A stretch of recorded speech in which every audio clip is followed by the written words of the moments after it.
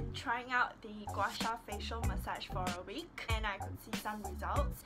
It's actually uh, recommended by a friend of mine so um, I thought that you know why not I should share with all of you especially those who are also facing the same problem as me such as having bloatedness or swelling on the face and having water retention. Uh, there are many other YouTube videos on this Gua Sha facial massage but what I'll be demonstrating here will be my own routine. If you're someone on a tight budget like me, I would highly recommend this method as it is cost saving and effective.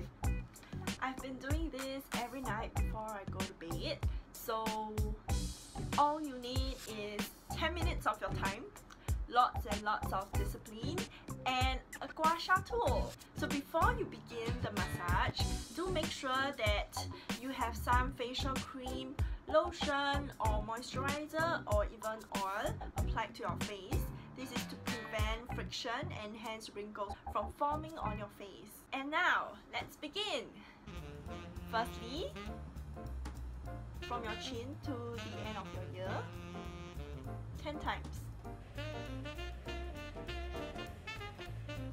From here to the end of your ear, 10 times. And at the end of your lips to your upper ear.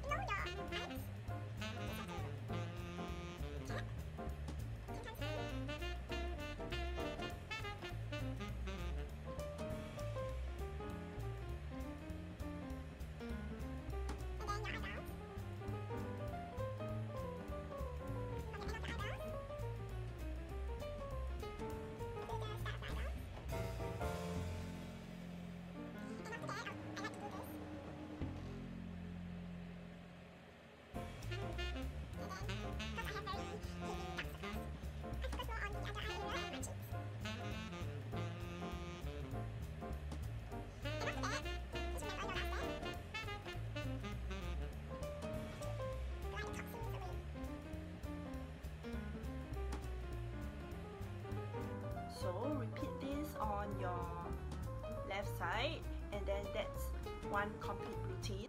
I would suggest doing two routines at least every day. Yeah.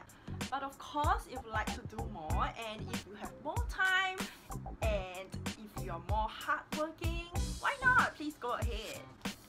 That sums up for my Gua Sha facial massage mini tutorial. Please feel free to drop a comment share with me. So I'll see you till the next